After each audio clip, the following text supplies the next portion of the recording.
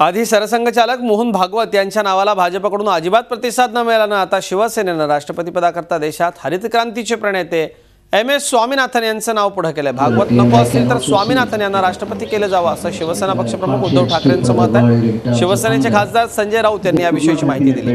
M S Swaminathan ब्याण्णव वर्षांचे स्वामीनाथन यांच्या नावाला भाजपकडून सहमती मिळणं अत्यंत अवघड आहे. Could not have been a better level. त्याचं हित बघून स्वामीनाथन यांनी अभ्यास करून एक अहवाल तयार केला. नेहमी आपण वेळोवेळी असं म्हणतो की स्वामीनाथन अहवालाच्या शिफारशी स्वीकारा त्या मंजूर करा आणि त्या त्याची अंमलबजावणी करा. बरोबर बोलतोय ना रे मी?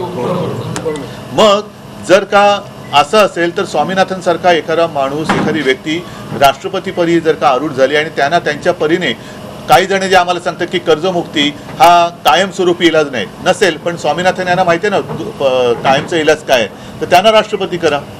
याच्यामध्ये राजकारण कोणतेही नाही आहे अहंकाराचा प्रश्न नाही आहे तमाम शेतकऱ्याला दिलासा देण्याची वेळ आहे. काम केलेलं आहे. हरित क्रांती यशस्वी करण्यापासून ते त्यांच्या अध्यक्षतेखाली जो आयोग नेमला होता त्या आयोगाच्या माध्यमातून त्यांनी शेतकऱ्यांच्यासाठी चांगल्या सूचना केल्या आहेत. त्यामुळं या सगळ्या गोष्टीचा विचार करता त्यांना विरोध करायचं काही कारण नाही परंतु अजून त्यांचं नाव पुढं आलेलं नाही आहे. आल्यानंतर आम्ही त्याचा विचार करू आणि निश्चितच त्यांच्या नावाबद्दल आम्ही विचार करू. झी चोवीस तास रहा एक पाऊल पुढे.